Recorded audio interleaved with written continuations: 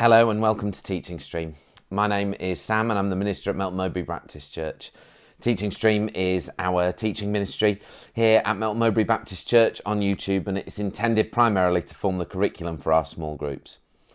We've recently been going through a series on deeper relationship with God. Our mission statement as a church is deeper relationship with God, with one another, and with our community. And this series has been all about deeper relationship with God. You're joining us at the final session, which is all about communication, but the previous sessions are all here on our YouTube channel. So if this is the first video that you're looking at, uh, maybe go back to the beginning and check them out. But even if you just carry on watching, uh, I'm sure that there will be something in it that God might want to say to you. I'm going to pray uh, uh, and then let's dive in. Loving Father God, we thank you for this ministry. We thank you for Teaching Stream. We thank you for everyone that's involved in producing it. We thank you particularly for Steve, who puts them together and loads them up on our YouTube channel. Lord, I pray that today's uh, teaching stream would be a blessing to all those who watch it.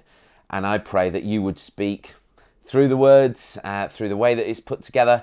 And I pray that we would have ears to hear what you have to say. I ask that in Jesus' powerful name. Amen.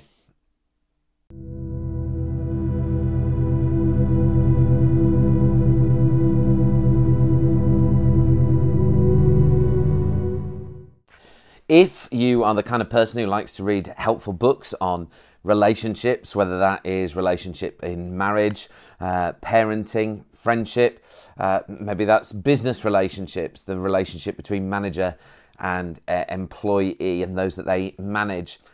If you are someone who reads those kinds of books, then you are sure to find a chapter on the subject of today's teaching stream. If you have ever needed help with a relationship, whether that has been in a work situation, whether that has been in a marriage situation, whether that has been in a familial situation or a friend situation, you've had to go and uh, and get some help from a therapist or a counsellor.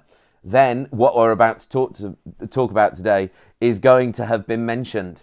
Whole books have been written on this subject in terms of deepening relationships and uh, I, am just going to scratch some of the surface of that. We're not going to get into all of that today. But the reason I mention all of this is because it is clear that everyone who is involved in relationships understands that communication is of vital importance.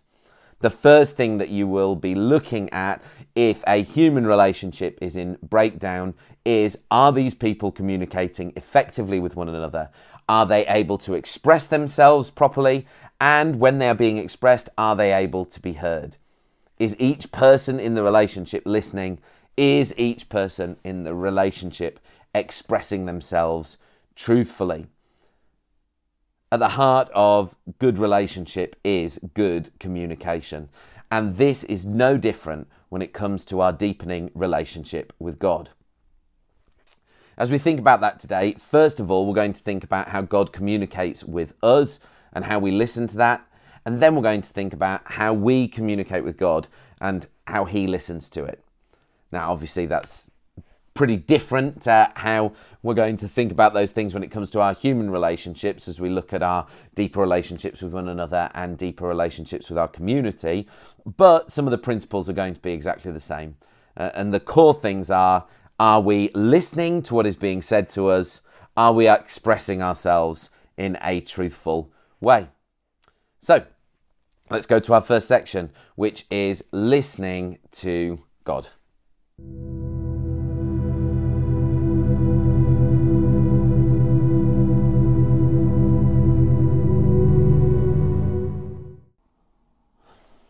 There are many conversations that I've had down through the years with people in churches where they are saying, I feel distant from God, or I don't feel like um, I am hearing from God. And there have been many points in my own life where that has been the case. And generally, uh, that has been caused by two things. One has been uh, traumatic circumstances. So people are going through a traumatic time, and it's taking time to process that. And uh, and actually, the the impact of the trauma is making um, the closeness to Father God uh, a difficulty. Or people have either stopped communicating with or trying to listen to what God is saying to them. So often, when I speak with people or when I reflect on the times when I have felt distant from God, actually, what I have found is it has been a period of time where I have not been spending the time trying to listen to Him. And when I investigate with other people, it has been a period of time where they have not been trying to listen. So, how do we go about listening to God? As I said, listening is the cornerstone of any communication. We need to be listening so that we're able to express ourselves properly and also so we are able to hear what the other person is saying to us, what they are asking of us, and, uh, and so we don't misrepresent the things that they're saying to us. Listening is of vital importance. And so often we turn off our ears to God. So, how does God communicate with us? How does He speak to us? Of primary importance in this, and you've probably guessed what I'm going to say because I've been mentioning it so much, is the Bible. God speaks to us through His words. This is His special revelation through the Spirit to us. That's not to say that the Spirit doesn't speak to us now today through uh, visions, dreams, uh, translated tongues, feelings, but actually the primary source where we get to hear what God is saying to us each day is in His Word, the Bible. Now, how does God speak to us through the Bible? Well, sometimes He might speak to us because a friend or trusted Christian comes to us and gives us a word from the Bible that is helpful. Although, what sometimes happens with those words when what we do is we cherry pick the bits of the Bible that work in certain situations, we don't really hear what God's saying to us. We just find comfort in particular words and phrases. I believe that the best way that we can hear from God through His Bible is to uh, commit to reading it in a systematic way. And that means that actually, over the course of a month, we might choose a book that we will dwell in and we will just read through the book, taking time each morning to read in the Bible. My personal way of having Bible study is to read from different sections of the Bible each day. I'm usually reading through an Old Testament book. A, uh, I will always read a psalm. I'll always read something from a gospel, and I will generally read something from the epistles. Currently, right now, I'm wading through Leviticus in the Old Testament, um, and the psalm I read this morning was Psalm 24. Uh, I am reading through John's Gospel, and I've just finished uh, the book of Colossians. I don't necessarily read a chapter every morning, but I might dip in and read uh, a section under one of the headings, or there are times where I feel, no, I'm going to read the whole, whole chapter. Now, I'm not suggesting that this would work for everyone, but I feel that this is a really healthy way to be reading the Bible. It means that what I'm not doing is dipping into the bits that I know will make me feel better in any given situation, but rather I am coming to the Bible and allowing God to speak to me through it each and every day. I recognize not everyone has that much time for this, and I'm in a rather privileged position in that I can give over an hour uh, each day to be doing this kind of thing. Although, don't please don't start thinking I'm some kind of super Christian. I'm not. I don't always manage to do that. In fact, it's very rarely that long. But I, I recognize that that not, isn't necessarily what everyone can do. And I know that lots of people find it really useful to hear to God through His Word by listening uh, through to one of the online Bible podcasts, uh, for example, Bible in a Year, or the David Suchet recording of the New International Version of the Bible. And this is another way in which we can hear what God is saying to us. There's a really important thing about coming to Scripture and allowing it to speak to our situation rather than looking at our situation and finding what we need in the Bible. Uh, that way round, we can always just about justify however we're feeling and what we want to do.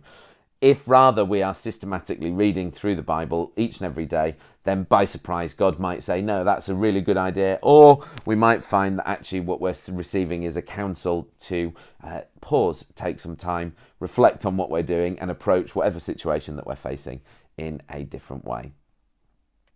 The other thing that reading in Scripture does is it builds us up a base level of knowledge of God, which we spoke about in our first session. It gives us a base level of biblical metaphors. It gives us a base level of biblical images. It gives us a base level of biblical ideas and doctrines. And in doing so, what it empowers, I believe, is actually the works of the Holy Spirit to um, to remind us of those things that we have already locked away in our brain. I remember when I was younger, I was always uh, envious is probably the right word of those older Christians who could uh, say, "Look, I, the Lord has told me this, and it's from verse blah blah blah," and would bring it out in a in a church setting or in a personal conversation. I've realised as I've gotten older that that only comes from actually being rooted in the Bible day in day out, reading our Bibles and understanding what God is saying to us. God speaks to us through Scripture. He speaks into our individual situation, but also in having a knowledge of who God is, we can start to begin to know what God is saying about our own personal situations and listening to Him in this way. We also have the ability to hear what God is saying to us through the power of His Holy Spirit. Throughout Scripture, we find examples of people hearing what God says to them in dreams, uh, in visions, in uh, the uh, prophetic words of other people, in the prophetic words of themselves. We hear of tongues being translated and then being prophetic. We hear God speaking to us uh, through His Spirit in feelings, the sense of a deep and calm peace in situations where we should not be peaceful, but rather naturally we might panic. This is God communicating with us His presence. This is God communicating with us His peace. And as I said, uh, we believe that God is speaking to us through His Spirit here and now today. However, unlike Scripture, what we need to do with with the things that God says us through the Spirit, and I have heard a whole range of things um, as a result of what God has said to people. Uh, pictures of red balloons that have spoken powerfully into my life, uh, specific words and verses. Someone has sung a song at a particular point in a service and it's spoken directly to me. Um, and and there have been occasions where I have been able to join in with with the Spirit saying something. I think, um, but what we have to do when these things happen is we test it. We we test any words of prophecy. We test anything that God is saying to us, and the standard by which we test it is the Bible. We also do it in community with one another. The community of the people of God, the church, are really good at discerning whether what we think God has said to us is the truth or whether it's just ourselves talking to ourselves. And what we need to create is an environment whereby actually being wrong doesn't mean that you're evil or you've done anything wrong. It just means that you've been vulnerable enough to try and bring it forward. And actually, we can always hear from what God is saying to us again. And next time, it might we might discern that actually, no, this is what God is saying. Uh, and that's what's really exciting about it. We are uh, picking through the words, pictures, and visions that God gives to His church together as a community. And what we hope we do is that we brush aside those things that actually are uh, for the moment and we cling on to those things which are the treasures of heaven that God has given to us through His Spirit and through one another. Listening to God is so very, very important and deserves us setting time aside to be able to do that. And whether that is devotional time in the morning or before we go to bed, actually when we think about our prayer lives and when we think about our devotional lives, we should always find that we are leaving space for God to speak. When we come to His scripture, it, it's important that we don't simply read it and think, tick, job done, but rather we read it, we spend time in quiet, we reflect, and we ask, what is God saying to me through these? You might remember in your small groups the questions that we ask scripture. What does this tell us about human beings? What does this tell us about god? And what does it mean i should change? They might be useful questions in your personal devotions because it allows you to spend time in allowing god to speak to us. It's just a suggestion. There's lots of other ways whether that is um, the uh, the slow reading of scripture picking two verses that we read slowly we hold silence, then we read it slowly again and see if God picks out any particular words that are speaking to us in this situation. But what I do think happens though is when we set side aside, uh, when we set time aside, when we pray into that time and ask God to speak to us, that God will honour it. And we might not notice that God has spoken to us in the moment, but actually halfway through the day, a week's time, a year's time, God might utilize that time that we have set aside to listen to Him to suddenly speak into our situation. Listening to God is vital in our relationship with God. and recognizing that He is a God who wants to speak to us and values us enough to speak to us is vital to our sense of who we are in Him.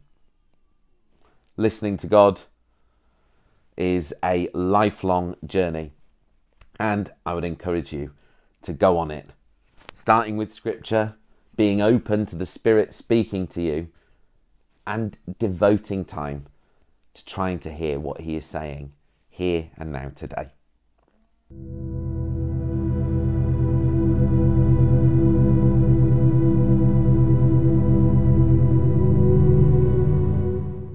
And so we come to expressing ourselves, expressing ourselves to God. The first thing that we need to recognize when we express ourselves to God is firstly that He is listening, that He is a God who listens to us. Jesus tells us that God listens to what we ask Him for, and when what we ask Him for is in line with His will, He is want to give it to us. It delights Him to give us the desires of our hearts. One of the questions that we come up against when we think about speaking to God, and I'm talking here really about prayer, is when we consider uh, Psalm 139 that we looked at in our first session of these series is uh, knowledge of God, is that God actually knows what we're thinking and knows what we're going to say.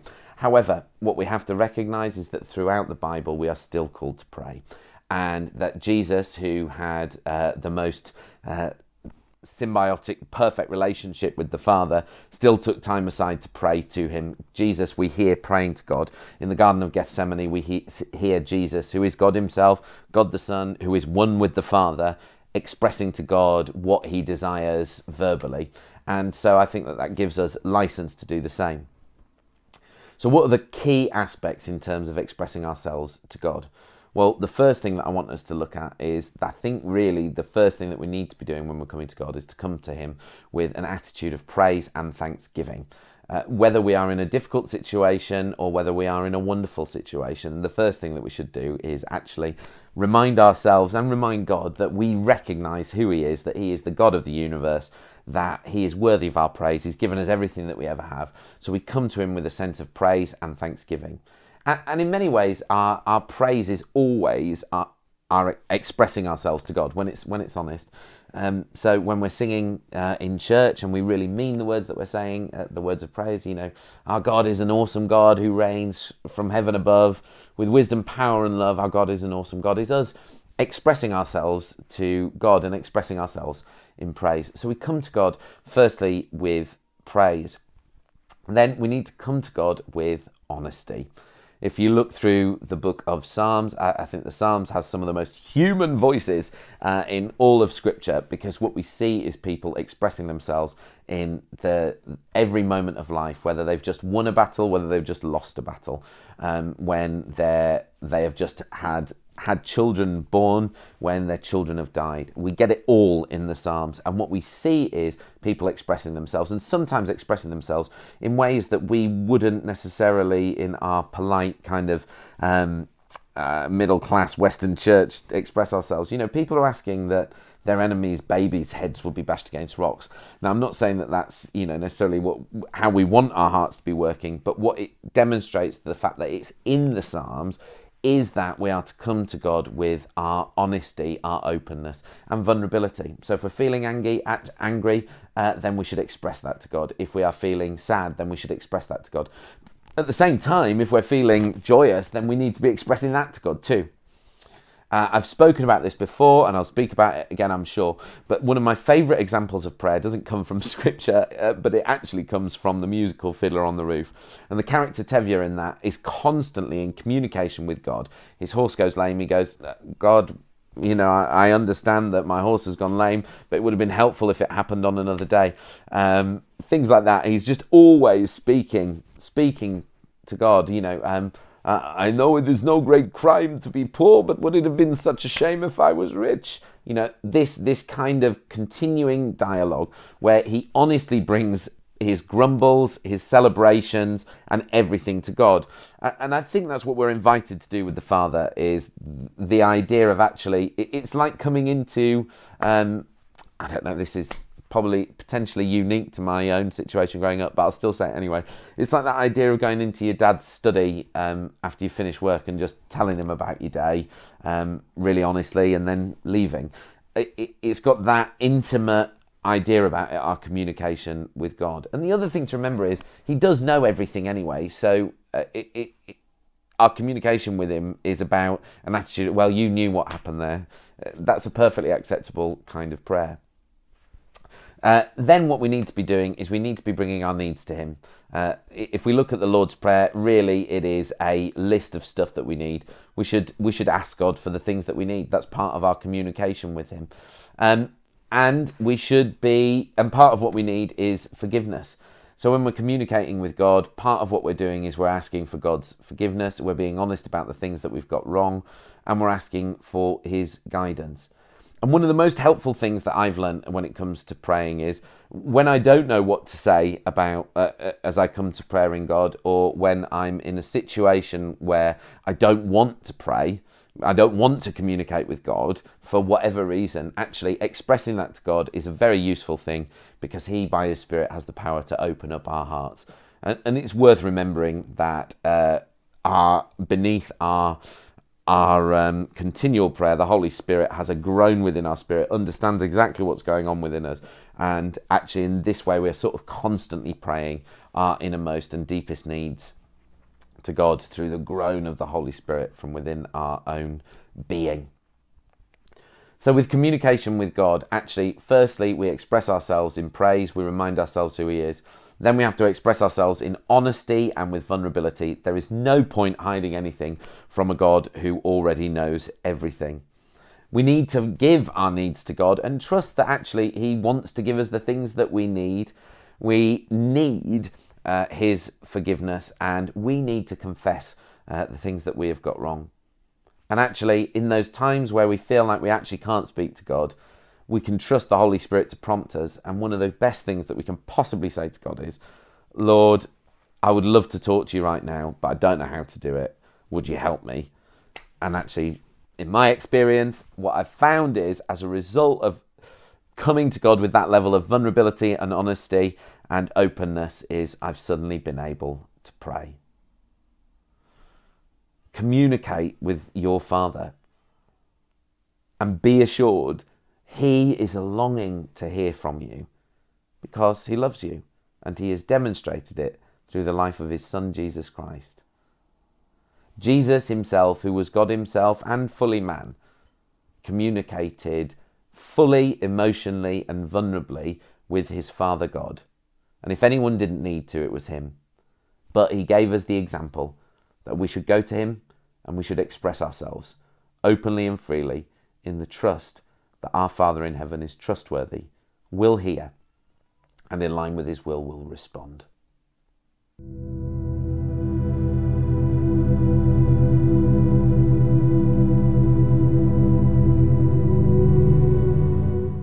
So that was a very speedy um, way of looking at communicating with God. If you'd like to read a book about it, and it's one that I'd really recommend, I think it's very good, uh, then I recommend uh, How to Pray by Pete Greig, and I think that that's just a really uh, useful book, and it has uh, it has some sort of step by step guides tips and uh, and it's just a really useful book. So if you'd like to go more than my sort of glossing over on this subject um, to get through some major points then I would suggest reading How to Pray by Pete Greig this is our final session in our deepening relationship with God. Uh, I hope that you found it useful, and uh, I, I hope that if you have any questions or anything that you'd like to say, you'd either put them in the comments or email me at sam at mmbc.org.uk. I would love to chat with you and uh, and respond to any ideas that you've had. Uh, hear what you think about this, uh, areas where you think maybe, oh, I'm not sure that's right, or I'd just love to chat with you about it. So please do get in touch. Uh, I do hope that this has been uh, a blessing to you, and I continue to pray that that's the case. So let's pray together, and then I'll say goodbye. Loving Father God, help us to listen to you and express ourselves to you in open and vulnerable ways. Help us to hear your voice and help us to express ourselves in openness. Lord, may we trust that you are so interested in us that you wish to speak and you wish to hear. May we know that by your Spirit this day and always. Amen. God bless you. Thanks for coming along for this ride. Uh, next week is going to be an Advent special, and then we'll be taking a break over Christmas.